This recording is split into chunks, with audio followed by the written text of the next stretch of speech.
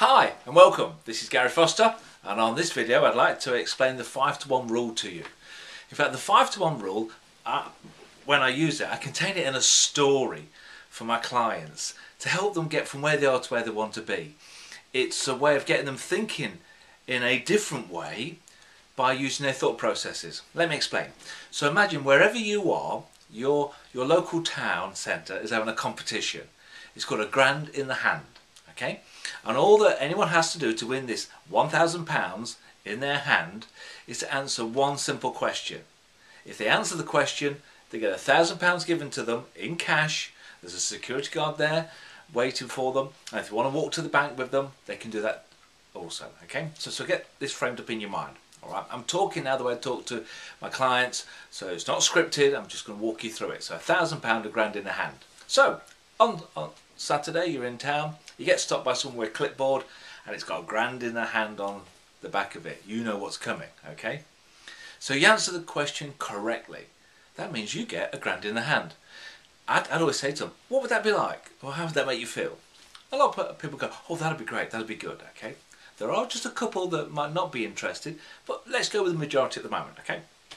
So they're getting excited, they're sitting in front of me, they're about to get a thousand pounds. And I do say to them, remember, this is all made up. But then I say, someone then says to them, oh, before you make that decision, we've just had a little note come through from Ed Office, and what they've said is that if you leave it for a whole year and come back same place this time next year, we'll have it signed with a solicitor, we'll give you £2,000, or you can have the £1,000 now. I'll say to what what would you do? Would you take the £1,000 now, cash now, or wait a whole year uh, and then get £2,000? Everyone will say to me, they'll take the thousand pounds now. They won't wait. They won't wait, okay? I'll go, okay, fair enough, fair enough. But imagine this. Another message comes through. Um, it's been radioed into them. And they've got great news. And it's within the next hour, they've had extra investment into the town centre. And if you make a decision now, okay, you can, in just 12 months' time, come back to the same place and collect £5,000 cash or just take the £1,000 now. If you decide to take it now, you lose £4,000. Okay, that's important. So now they've got not just 1,000, but between one and £5,000 to make a decision. Okay, and, and often they'll say to me, do you mean if I come back in a year's time, I'll get £5,000? I'll say yes. And I know that there's no saving account that's going to give you that return, is it? No. And most will say, oh, okay, then I'll go for the £5,000.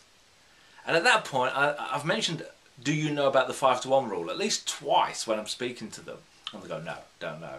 And then I'll say to them, okay, let me explain what's just happened there. We've used the 5 to 1 rule on motivation, on what's called the gap from where you are to where you want to be. Now, if the gap's very small from where you are to where you want to be, there's not that much motivation to make a change so you stay the way you are, in all fairness.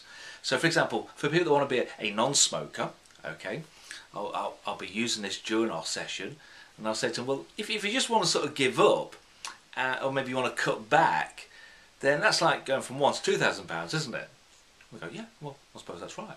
But if we can create a gap that this is where you are, but that's where you'll be as a non-smoker, like the five thousand pound decision, where all of a sudden you completely change and decide, yeah, I could wait, I could make a decision on that then to be a non-smoker, that's what you and I have to do. We have to find where's your gap so big that when you leave it today, you will be a non-smoker. And that's what gets them thinking, you see. So everything I do is building on that 5 to 1 rule. That 5 to 1 rule. Everything that I'm working through with my clients to be a non-smoker is a 5 to 1 rule. Hey, I might even record a video soon on the most important question I ask anyone tell them to be a non-smoker and it absolutely critically makes that difference in helping them stop, quit and become a non-smoker or not. I'll have to see what replies I get to this video. Anyway, this is Gary Foster saying thanks for watching. That's my 5 to 1 rule explanation. The bigger the gap, the bigger the motivation. Take care. Bye for now.